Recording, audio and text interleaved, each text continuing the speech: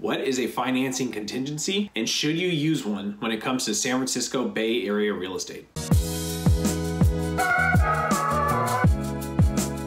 What's up, San Francisco Bay Area? This is Alex Williams, Realtor with Rise Homes. Today, we're discussing financing contingencies and their effects when presenting an offer to a listing agent. So, first, what is a contingency? Well, a contingency is basically a condition, a condition where you are able to opt out of a contract if a specific event happens or does not happen. For example, let's say you submit an offer for the list price of $1 million with a financing contingency. This contingency says you will buy the property if the bank approves you for a loan. Your offer is accepted and you put your 3% earnest money deposit of $30,000 down. You are now ratified. Now, since you have the financing contingency in place and the bank does not agree to give you this loan, you are able to break this contract. Your $30,000 deposit will be returned to you and you are back looking for another property. Now let's say you make the same offer on the property, a million dollars, but without the financing contingency. Now you have an obligation to fulfill the terms of the contract even if the bank does not agree to give you the loan. But what happens if you have no financing contingency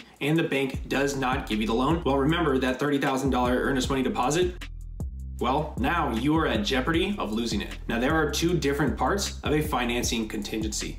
First, it protects you in case something happens to you in regards to your finances, such as maybe losing your job. You are able to opt out of the contract if you are not able to keep your side of the deal. Secondly, you are protected against your lender not giving you the loan due to a possible appraisal issue, maybe. When you receive private financing, your lender needs to make sure that their investment in the property is sufficient enough to cover them in case you default on your loan. So a financing contingency protects both you and the bank. Now, how would a financing contingency affect buyers here in the San Francisco Bay Area? Well, for the most part, listing agents are seeing many offers without contingencies at all. Now, does this mean you should submit your offer without contingencies?